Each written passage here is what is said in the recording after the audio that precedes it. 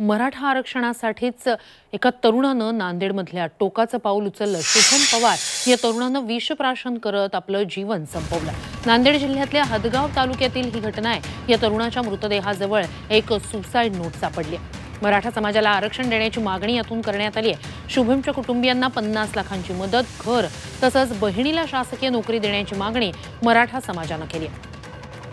मागण्या मान्य होईपर्यंत मृतदेह ताब्यात घेणार नाही असा इशाराही मराठा समाजानं दिला.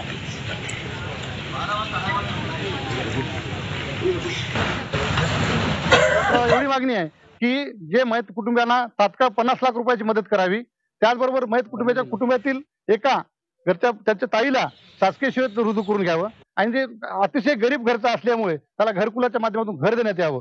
आणि मराठा समाजाचा आरक्षणाचा जे प्रमुख विषय आहे हे तात्काळ येत्या दोन दिवसात मार्गी लावा ही आमची प्रामुख्याने मागणी आहे. जोपर्यंत हे सरकार आणि सरकारचे प्रतिनिधी तात्काळ पन्नास लाख रुपयाचे आम्हाला लेखी शासन पुरा लेखी शासन दिल्याशिवाय आम्ही डेड बॉडी उचलणार नाही.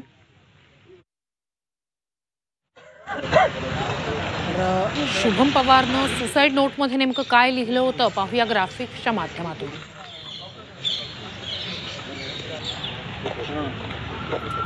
एक मराठा लाख मराठा. मराठा आरक्षण देण्यासाठी मी माझ्या जीवाचं बलिदान देत आहे.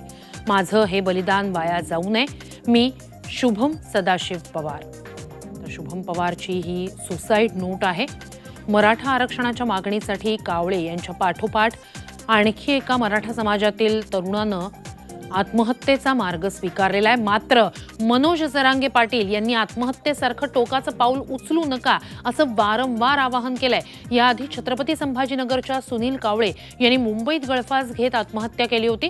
तर आता नांदेडच्या शुभम पवार या तरुणानं टोकाचं पाऊल उचललंय.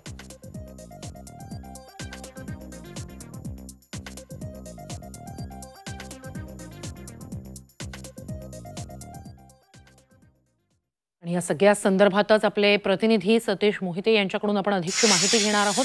सतीश अधिकची या सगळ्या संदर्भात माहिती काय आहे? आत्ता आता मराठा समाजाचं नेमकं काय म्हणणं आहे? शुभमकडे एक चिठ्ठी आढळून आली. या चिठ्ठीमध्ये एक मराठा लाख मराठा मराठा समाजाला आरक्षण मिळावे यासाठी मी माझ्या माझ्या जीवनाचे बलिदान देत आहे माझे बलिदान वाया जाऊ नये असा उल्लेख शुभमने आपल्या चिठ्ठीत आत्महत्येपूर्वी केला होता. त्याच्याजवळ एक औषधाचा डब्बाही आढळून आलेला आहे. ही घटना उघडकीस आल्यानंतर नांदेड जिल्ह्यात मोठ्या प्रमाणात खळबळ उडालेली आहे.